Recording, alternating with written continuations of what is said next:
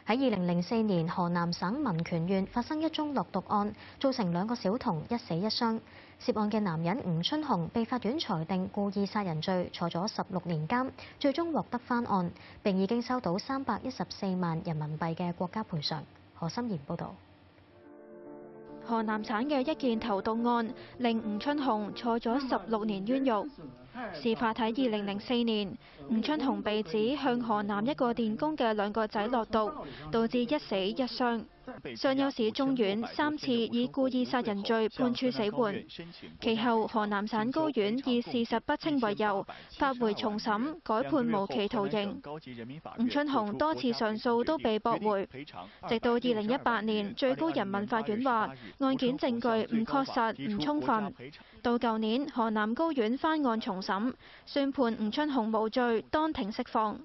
事后佢申請一千八百七十二萬賠償。一千多萬，拿兩千萬、三千萬，說實話，真的也買不出來那這十六年的這個委屈。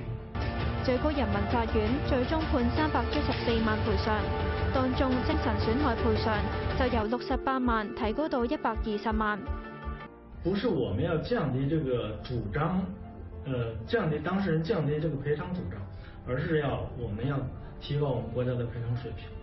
那么我们希望通过我们这种主张，也能够促进今后我们国家这种赔偿水平、人身保护水平的提升。